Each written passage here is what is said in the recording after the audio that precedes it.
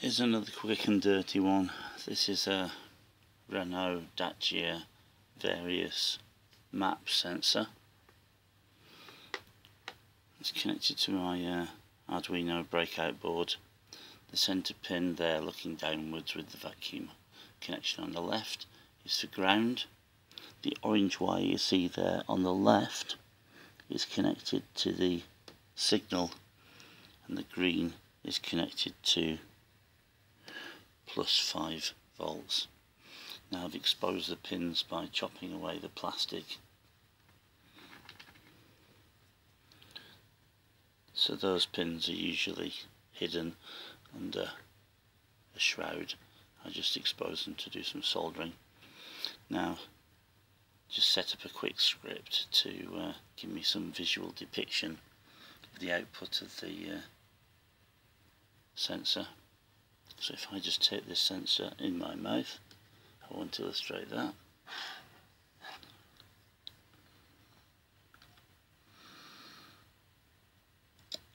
As you can see there,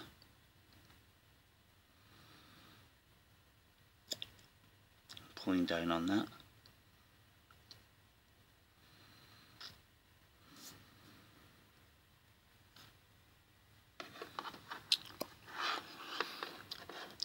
Releasing it.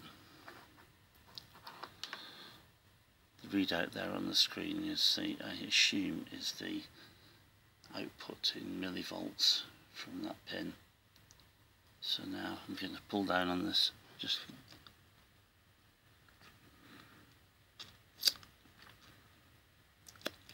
wonderful special effects.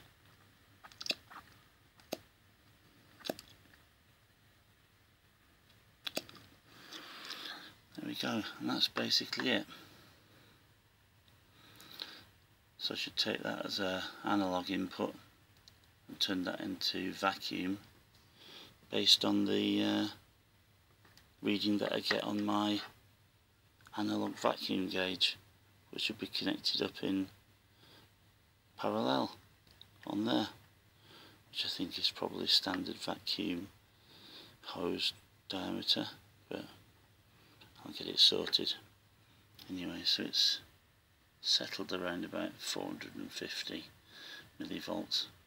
So yeah. Well that's it. Very very straightforward bit of code you'll see there basically just reading the value from the uh, the pin. Displaying it on the screen and producing a little linear output. That's it really Okay. Back to breakfast.